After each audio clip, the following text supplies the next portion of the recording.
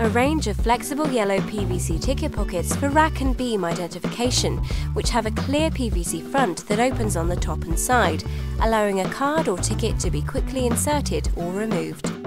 Barcodes can be scanned through the clear front without removing the ticket. Four popular sizes are available from 30 by 100 mm, 40 by 120 mm, 60 by 100 up to 60 by 140 mm.